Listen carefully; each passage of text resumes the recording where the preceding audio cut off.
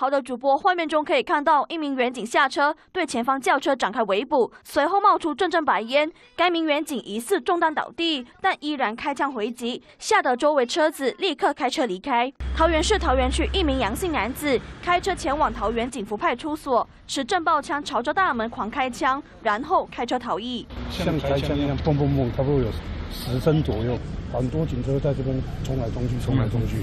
远警听见枪声，立即冲出逮人，与嫌犯在永安路口爆发枪战，双方互开十多枪。过程中，一名二十二岁蔡姓远警的肩膀遭嫌犯开枪击中，最后警方透过夹击，在永安路巷口将嫌犯拦下，逮捕归案。本分局两辆警车夹击拦阻，将阳性犯嫌弃捕归案，并起出两把手枪、一把冲锋枪。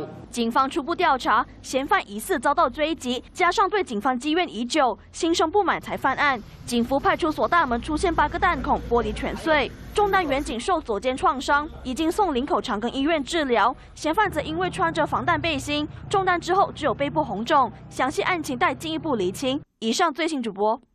我是王一中，新闻的产业带给我满满的使命感，不论是贴近民生的议题，或是国际的话题，我都能够精确、真实传达最完整的资讯给各位观众。当然，更多的新闻请锁定中视 YouTube 频道，记得按赞、订阅、分享，并开启小铃铛哦。